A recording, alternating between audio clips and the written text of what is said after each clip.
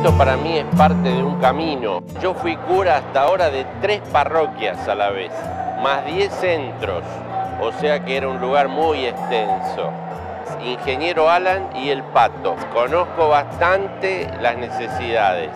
Es nuevo el lugar, pero la iglesia es la misma, el pueblo de Dios es el mismo, Dios es el mismo y yo también soy el mismo.